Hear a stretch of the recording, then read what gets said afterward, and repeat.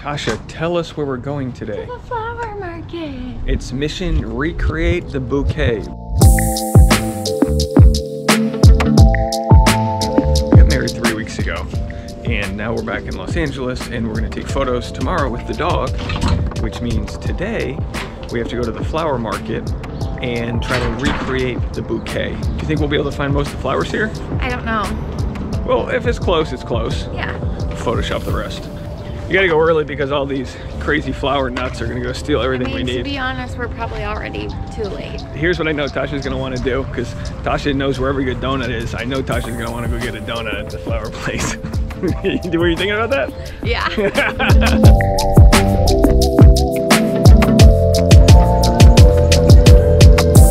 We've made it to the flower mart.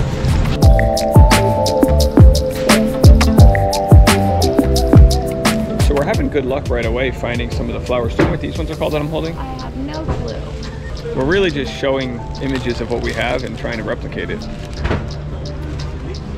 Far we spent thirty-seven dollars. Actually, see those purple ones I pulled out already. Big bag. 81 for 36 roses. It's actually probably a good good price. It's getting heavy. Lots of stuff here. Are those roses? Yeah. Eucalypt-. Yeah, eucalyptus. My guess, we're at about 160 bucks. You'd think the wedding costs a lot of money. It doesn't end. All right, we got them all. How much did this cost? Should we break it down after? I didn't get a receipt from Rose's guy. All right, we stopped getting receipts. That's how you know it's bad when you stop tallying the price. That was way easier and more expensive than I thought. Well, it was definitely expensive, but that's just because we had a lot of variety of flowers to get. What did we spend rough roughly? I don't know. 200? Probably. Probably 200 bucks. You were quoted at about 150 bucks for someone to replicate the bouquet that you already have. Yeah. We probably can make But six of those with the flowers we have. Yeah. At least, maybe 10. I would say four. So when I got my suit made at Indochino, they kind of messed up the vest. So they, they were like, you know what, we're just gonna make a whole new vest for you. So Tasha was like, can we keep the vest? And they were like, yeah, keep the old vest. So of course we kept the old vest. And then I took it to the tailor's so it could fit Boone. Wait.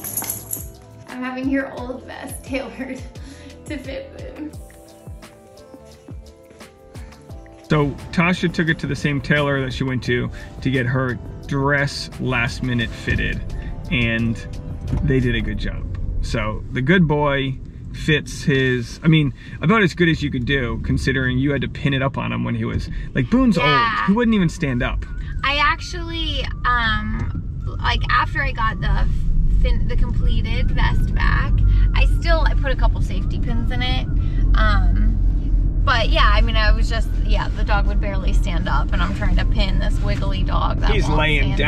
down. Yeah, it was a mess. So I, if I could do it again, I would change the neckline to fit his thick neck.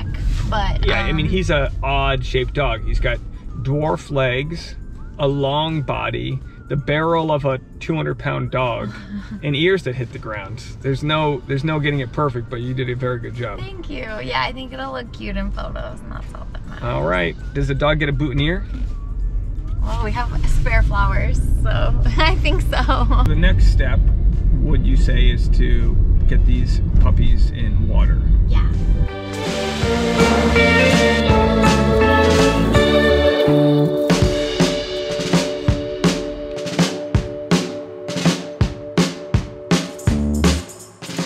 Finished with the bouquet. I think it looks pretty good.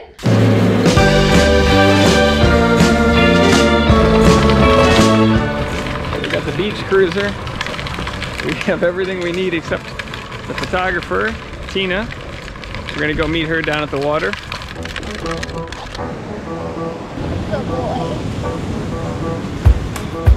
This cost more than my suit by the time it was said and done.